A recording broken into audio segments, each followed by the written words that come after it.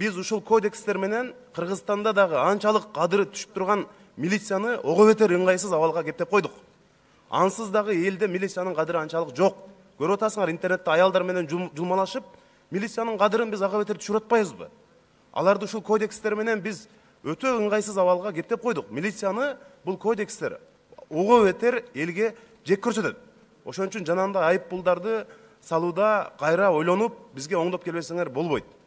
Мына карагыла базарда милициянын айлыгы аз болсо алардын айлыгын көтөрүп бере албасак жетиштүү деңгээлде шарт түзүп бере албасак анан дагы элге айып пул сал дагы силер жаман көргүлө деп коюп атабыз ушундай кырдаал түзүлүп калды да курмансаңдар кандай дейсиз биринчиден жанарбек иванович биринчи негизинен айтканда жоопкерчилик баардыгыбызда бирдей болгону жакшы биз эми форма кийгенден кийин алдыбызга коюлган нерсени алга умтулуу максатында ушул реформаны колдогонбуз бирок сиз айткандай көптөгөн толуктоо өзгөртүүлөр бүгүндөн кеч калтырбастан тынчтык ырайым айткан. Тез арада биз киргизишибиз керек. Бул биринчиден.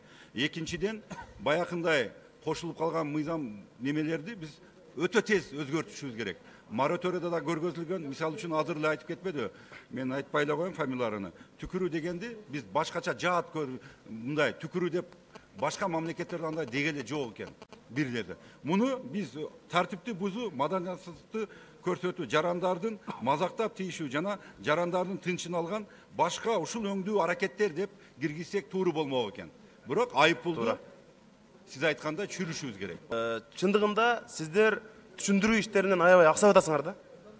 Бүтүндөй өкмөттү фейсбуктагы төрт активист мындай талкалап коюп атат абийирин кетирип коюп атат туура силер ошолорго чыгып жетиштүү деңгээлде өзүңөрдүн реформаңар жөнүндө айтып бере албайатпайсыңарбы эч кандай мындай түшүндүрүү иштери жок болуп атат да. Мисалычы ошонун айынан ушундай болуп атат эми урматтуу депутаттар урмат он секунд. Эми бул кодекстерди чукул арада оңдош керек. Мына кошуна өзбекстан армения реформаларды инновацияны инвестицияны талкуулап атат. Биз түкүрүктү талкуулап отурабыз. Буга тез арада мына бир айдын ичинде чек койбосок болбойт.